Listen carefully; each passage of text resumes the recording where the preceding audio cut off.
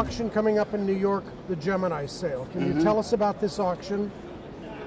Well, this is the 10th year, this is our 50th year in business, and this is our 10th year of doing Gemini sales. Uh, we're having it at the New York International, where I was one of the founding members about 40 years ago when the show started, and uh, developed into an auction venue, and is the most important auction venue in the United, in the world for ancient coins, because all of the most important dealers come together and hold auctions all week, in addition to a first-rate coin show at the Waldorf. And what are some of the highlights that will be in the sale? Well, one of the most important coins is on our cover, and it's an unassuming little coin, Jewish coin with a menorah on it. Now, this was issued by the last of the Maccabees in 37 BCE, and you weren't supposed to put menorahs or showbread tables on coins because it's like you're reproducing the most important portions of the Jewish religion. But this fellow did it anyway. He lost the war soon, was executed, and Herod the Great came in. But of these coins, only 40 are recorded. And this is one of the finest of the 40. And in 50 years, this is the first one I've ever had. This is a completely remarkable coin. It came from a very expensive sale where almost everything was overpriced, the Prospero sale. But we bought this without any pedigree. But we found out that it was in a Münzen und Medaillen sale in 1974, which led us to the fact that it was in the Lord Bunbury sale in 1896, which then led us to the fact that it was that was owned by Catharine Perkins and sold to the Boston Museum of Fine Arts in 1902 and then published in the catalog of the Boston Museum of Fine Arts in 1955.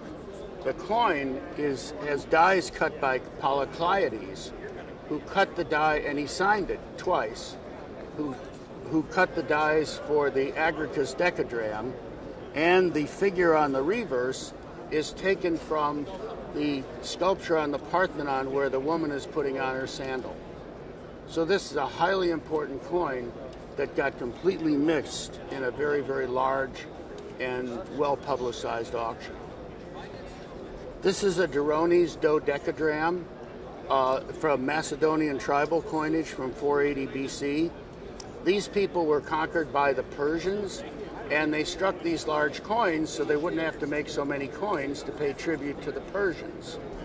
Now, this is the only one I've ever seen with mint luster, and the reverse is very interesting because it has these large holes.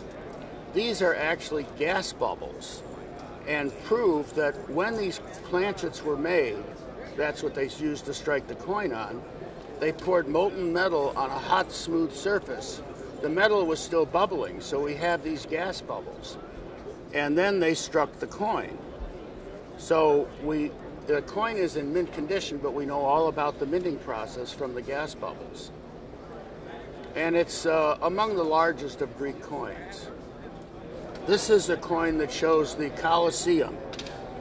The Colosseum is very, very interesting because it was built on the site of Nero's golden house, which was only for Nero.